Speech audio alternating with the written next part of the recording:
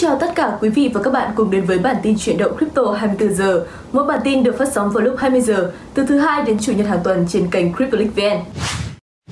Trò chơi điện tử do người Việt phát triển bị tấn công mạng, mất 625 triệu đô la Mỹ. MetaMask triển khai tích hợp Apple Pay để gia tăng thêm các tùy chọn mua tiền mã hóa. Token GMT của STEPN nhân 220 lần từ giá IDO thiết lập kỷ lục giá trị mới. Chủ sở hữu 7 quả bóng vàng trở thành đại sứ thương hiệu của Celsius. Mời các bạn cùng đến với bản tin chuyển động crypto 24 giờ tối nay.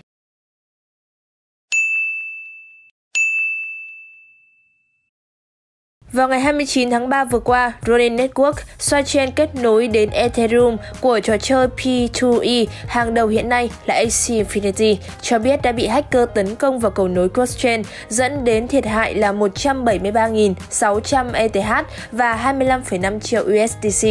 Với giá ETH tại thời điểm thực hiện bài viết này là 3.435 đô la Mỹ. Điều này đồng nghĩa với việc kẻ tấn công đã bòn rút được hơn 622 triệu đô la Mỹ từ Ronin, biến đây trở trở thành sự cố bảo mật nghiêm trọng nhất lịch sử ngành tiền mã hóa, vượt qua con số 611 triệu đô la Mỹ của Poly Network vào năm 2021.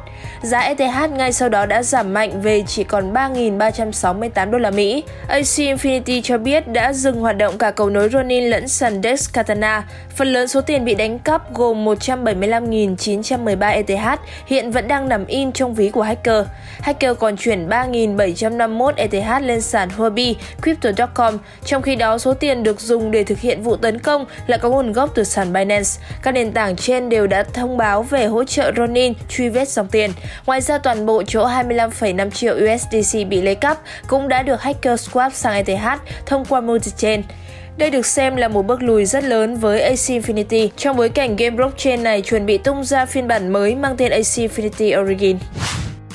Theo thông báo chính thức từ đội ngũ phát triển Polygon công bố vào ngày 29 tháng 2, dịch vụ này được gọi là Polygon ID sẽ giúp những dự án blockchain xác minh thông tin của người dùng trong khi vẫn bảo vệ dữ liệu riêng tư của họ. Để thực hiện công việc trên thì Polygon sẽ tận dụng IDN 3, giao thức nhận dạng phi tập trung sử dụng cơ chế Zero Knowledge, một công nghệ mật mã có thể xác minh dữ liệu vẫn được mã hóa và ẩn khỏi bên xác minh. Công nghệ này đã trở thành trung tâm của tầm nhìn chiến lược Polygon, với cam kết nền tảng trị giá 1 tỷ đô la Mỹ cho các dự án liên quan, Polygon ID là sản phẩm mới nhất trong danh mục đầu tư phát triển nhanh chóng này. Polygon ID sẽ được sử dụng trong các cuộc kiểm tra xác minh thông tin khách hàng liên quan đến blockchain cần thiết trong các hoạt động được quy định cũng như những ứng dụng tùy chỉnh. MetaMask đã thông báo một chuỗi cập nhật vào ngày 29 tháng 3 cho người dùng iPhone và Apple Pay. Tính năng chính là khả năng mua crypto bằng thẻ ghi nợ hoặc thẻ tín dụng thông qua ứng dụng di động, loại bỏ nhu cầu chuyển Ethereum từ sàn giao dịch tập trung vào ứng dụng. MetaMask sẽ sử dụng hai cổng thanh toán, Wire và Transact để hỗ trợ các giao dịch người dùng hiện có thể sử dụng Visa và Mastercard được lưu trữ trong Apple Pay để mua ETH cũng như gửi tối đa 400 đô la Mỹ hàng ngày vào ví của họ nhờ vào API Wire. Phí gas được cho là thấp hơn theo công bố của MetaMask. Một số giao dịch thậm chí có thể không tốn phí gas nếu được sử dụng thực hiện trên blockchain riêng tư hoặc nếu một dự án thanh toán tiền gas thay mặt cho người dùng. Thậm chí khi hoàn tất giao dịch mua ETH, MetaMask còn tuyên bố họ không thu lợi từ phí gas. Trưa ngày 30 tháng 3, giá token GMT của dự án STEPN đã vượt ngưỡng 2 đô la Mỹ và tạm thời lập ATH ở mức 2.239 đô la Mỹ, tăng đến hơn 110% so với cách đây 24 giờ. Trong hai ngày gần nhất thì GMT cũng ghi nhận đà đi lên ấn tượng với mức tăng đều gần 50%. Khối lượng giao dịch của cặp GMT USDT trên Binance trong 24 giờ qua là gần 2,4 tỷ đô la Mỹ, áp đảo những cái tên hàng đầu như BTC USDT 1,9 tỷ đô la Mỹ hay ETH USDT 1,6 tỷ đô la Mỹ. Được biết, STEPN là dự án sử dụng mô hình Move to Earn, cho phép người dùng kiếm tiền từ việc chạy bộ mỗi ngày. Để làm được điều đó, người dùng cần tải ứng dụng STEPN, sau đó mua một đôi giày phù hợp với khả năng vận động của bản thân và kiếm GMT từ mỗi buổi tập luyện của mình.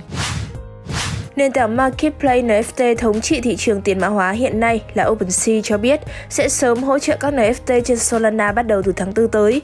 OpenSea được xem là thị trường NFT hàng đầu hiện nay, thường xuyên tạo ra khối lượng giao dịch giá trị hàng tỷ đô la Mỹ mỗi tháng và chủ yếu tập trung vào Ethereum. Vào tháng 1 vừa qua, OpenSea đã tiết lộ mức định giá 13,3 tỷ đô la Mỹ sau vòng gọi vốn 300 triệu đô la Mỹ mới nhất của mình.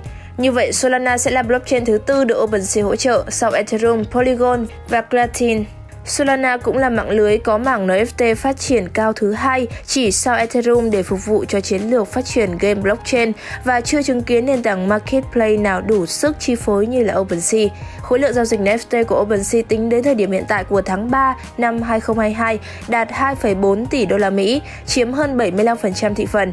Mặc dù vậy, con số này đã giảm đáng kể so với mức 3,08 tỷ đô la Mỹ vào tháng 2 và kỷ lục của ATH là 4,49 tỷ đô la Mỹ vào hồi tháng 1.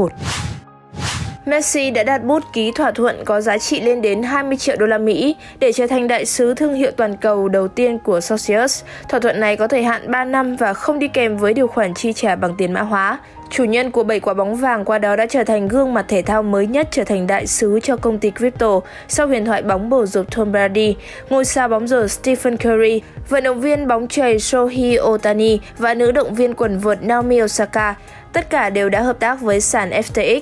Ngoài ra, một cái tên lớn khác là Crypto.com vào cuối năm 2021 đã chọn tài tử Matt Damon làm gương mặt đại diện và triển khai một chiến dịch quảng bá toàn cầu, sau đó ký thỏa thuận với siêu sao bóng rổ LeBron James để quảng bá thông qua mảng thể thao.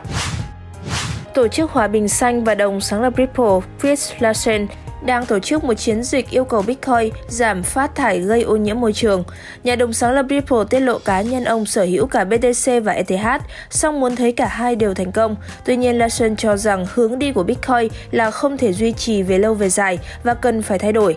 Hiện tại đồng mã hóa lớn nhất thế giới đang sử dụng mô hình Proof of Work trong đó yêu cầu các thợ đào phải dùng những thiết bị tính toán để giải các bài toán phù hợp và sản sinh ra blockchain giao dịch. Những thiết bị ấy thường tiêu tốn rất nhiều điện năng. Lý do cho điều ấy là đã đảm bảo độ bảo mật cho mạng lưới, khiến dữ liệu khó bị thay đổi bởi sẽ phải cần một lượng lớn tài nguyên để chiếm quyền đa số trên mạng lưới. Song các nhà vận động môi trường từ lâu đã cho rằng cơ chế đao tiền của Bitcoin là gây lãng phí điện năng không cần thiết, nhất là khi đã có những giải pháp xác minh giao dịch thay thế như Proof of Stake, phương thức đồng thuận mà Ethereum đang trong những bước chuẩn bị cuối cùng để tích hợp trong năm 2022 này. Nhà xuất bản truyện tranh nổi tiếng thế giới DC Comics sẽ phát hành một bộ sưu tập NFT theo chủ đề Batman, nhân vật mang đậm tính di sản nhất của công ty. Bộ sưu tập anh hùng người rơi sẽ mang tên Batcow, có tổng cộng 200.000 NFT, mô tả phiên bản 3D mặt nạ Batman. Đặc biệt hơn, mỗi NFT là duy nhất và dựa trên di sản truyện tranh 83 năm của Batman. Có nhiều sự kết hợp màu sắc, phong cách và hình dạng mặt nạ khác nhau, trị giá 300 đô la Mỹ trong thời điểm khởi điểm. Tương tự với nhiều dự án ngày nay, hình ảnh gắn với NFT chỉ là một phần của đề xuất giá trị tổng thể. Trong trường hợp này thì DC đã hứa hẹn một lộ trình 2 năm với nhiều tính năng, lợi ích và tiện ích khác nhau sẽ được cung cấp cho chủ sở hữu. Những người nắm giữ NFT House sẽ có quyền truy cập vào một diễn đàn riêng dành cho những người hâm mộ trên trang web DC Universe, cùng với sự ưu tiên tiếp cận với các sự kiện của người hâm mộ, bộ sưu tập vật lý, hàng hóa độc quyền và nội dung hậu trường. Sau đây là một số tin vắn đáng chú ý trong ngày. Tối ngày 29 tháng 3 vừa qua, HBAR Foundation, tổ chức quản lý blockchain Hedera Hashgraph, cho biết sẽ lập một gói kích thích phát triển DeFi trị giá 155 triệu đô la Mỹ để thúc đẩy hoạt động DeFi trên mạng lưới. Đây là quỹ phát triển hệ sinh thái mới nhất của ngành tiền mã hóa trong tháng 3, sau quỹ 290 triệu đô la Mỹ của Avalanche, 150 triệu đô la Mỹ của FakeDog AI và 250 triệu đô la Mỹ của Akala. Giá HBAR đang tăng nhẹ nhờ tin tức trên lên mức 0,2695 đô la Mỹ, song vẫn còn cách rất xa đỉnh ATH là 0,57 đô la Mỹ lập vào giữa tháng 9 năm ngoái. Tối ngày 29 tháng 3, CEO Michael Saylor của MicroStrategy tuyên bố công ty con của ông là MicroStrategy đã hoàn tất khoản vay 205 triệu đô la Mỹ từ tập đoàn ngân hàng Silverbank sẽ sử dụng toàn bộ số tiền này để tiếp tục đầu tư vào Bitcoin. Đây là động thái mới nhất của MicroStrategy sau quãng thời gian dài ngủ im. Lần gần nhất công ty đầu tư này phân bổ thêm tiền vào Bitcoin là khoản mua 25 triệu đô la Mỹ vào đầu tháng 2 năm 2022. Tính đến thời điểm hiện tại, MicroStrategy đang nắm giữ 125 1.051 Bitcoin, trị giá gần 6 tỷ đô la Mỹ tính theo giá BTC hiện tại. Chi phí đầu tư của công ty là 3,7 tỷ đô la Mỹ. Điều này đồng nghĩa với việc công ty vẫn đang lời đến gần 60% công ty truyền thông và giải trí World Wrestling Entertainment đã ký hợp tác lâu dài với nền tảng thể thao kỹ thuật số toàn cầu Fanatics. Theo thỏa thuận, Fanatics sẽ hợp tác với công ty trong nhiều dự án khác nhau như lĩnh vực merchandise, trading card và NFT. Sự hợp tác này không phải là bước đột phá đầu tiên của công ty vào ngành NFT. Tháng 10 năm ngoái thì công ty đã công bố một thỏa thuận dài hạn với Fox Entertainment và Ben Top Box Entertainment trong chiến lược lấn sân sang lĩnh vực tài sản kỹ thuật số. Trong tuần này, giá của Northseed đã ghi nhận một đợt tăng trưởng nhanh chóng lên đến 50% sau khi dự án tiết lộ nhiều chương trình airdrop hấp dẫn dành cho nhà đầu tư. Những lý do đứng sau động lực đáng kinh ngạc này của GNO đầu tiên đến từ phát hành token COW được airdrop cho những người nắm giữ GNO. COW là token gốc của Sandex Call Swap, cung cấp khả năng bảo vệ MEV cho các nhà giao dịch. Thị trường tiền mã hóa chiều nay vẫn duy trì ở mức tăng trưởng xanh. Vốn hóa thị trường tính đến 5 giờ chiều cùng ngày đang giữ ở mức 2,24 nghìn tỷ đô la, tăng 0,5% so với ngày hôm qua. Bitcoin hiện đang giao dịch quanh mốc 47.400 đô la, giảm 0,2%. Ethereum cũng ghi nhận mức giảm nhẹ với 0,3% và hiện đang trao đổi trong khoảng 3.400 đô la Mỹ. Binance Coin đang giữ ở ngưỡng 436 đô la Mỹ. Nếu cảm thấy bổ ích, đừng quên like, share và đăng ký kênh để nhận được những bản tin mới nhất về tình hình thị trường crypto trong 24 giờ qua. Xin chào và chúc mọi người có một buổi tối an lành.